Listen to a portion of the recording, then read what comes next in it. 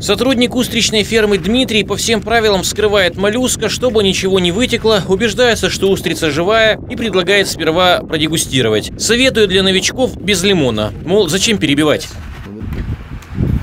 И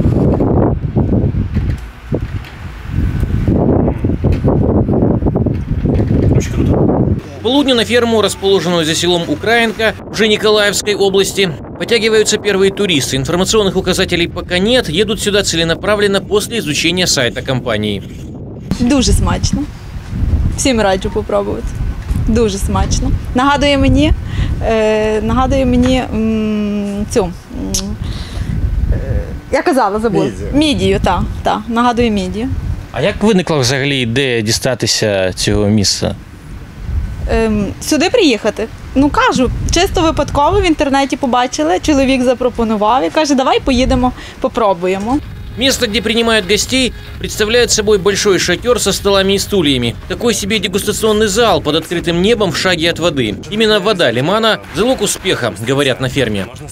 Необычная для Украины ферма расположена на границе Николаевской и Одесской областей. Высокому урожаю устриц способствуют уникальные свойства воды Телегульского лимана.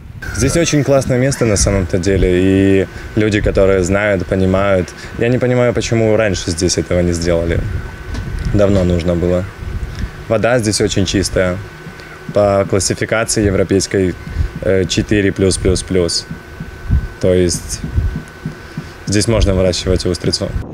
Но начиналось все несколько лет назад не так благополучно. Основатель первой в Украине устричной фермы Андрей Пигулевский говорит, чтобы получить первый урожай устриц, нужно совершить все ошибки, которые только можно. Для начала нужно закупить правильную семечку устричную baby, baby oyster, да, это спад, мы его так называем спад. Не с каждого питомника э, подходит для нашей воды спад. То есть я э, закупал э, эти семечки с разных питомников, вот, и только из одного подошли, ну, растут здесь. Вот. Нужно выбрать правильный температурный режим, когда их э, посадить, на какой глубине, правильно за ними ухаживать, то есть не давать их, им слепаться. Но главное – это защитить свой будущий урожай. Тут проблемы устричных фермеров немного схожи с теми, с которыми сталкиваются привычные нам землепользователи. Разумеется, не все так радикально, но и подводный мир нужно беречь от любознательных, не всегда доброжелательных дайверов. Поэтому свою посадку ферма устрицы Скифии хранит в секрете и ждет изменений в законе, которые хоть как-то обеспечат производителей аквакультур защитой. Еще со времен Януковича не выписан э, правильно закон э, под аквакультуру. да, то есть я занимаюсь выращиванием ну, аквакультура, марикультура. Вот, и, э, по сути, э, нет сейчас до конца прописанной э, правильной процедуры, как я могу взять э, акваторию, да, то есть кусок лимана в, э, в аренду.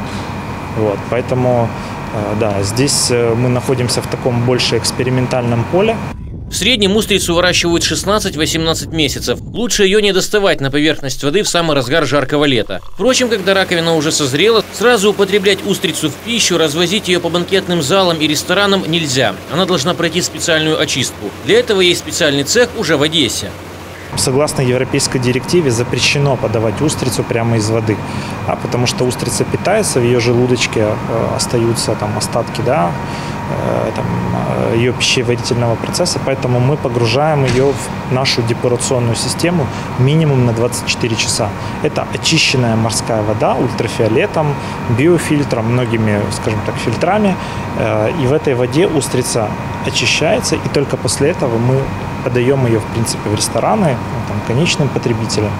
Выращивание устриц – процесс весьма щепетильный, требующий долгого времени и терпения. Важно не только соблюдать выборную методику, но и придерживаться всех правил. Это запрещено. Это запрещено добавлять какие-либо там усилители роста фитопланктона и так далее. Вот. Мы таким точно не занимаемся. Э, Устрица это фильтрат, да, она фильтрует море, воду и питается э, особенными типами фитопланктона, одноклеточных водорослей.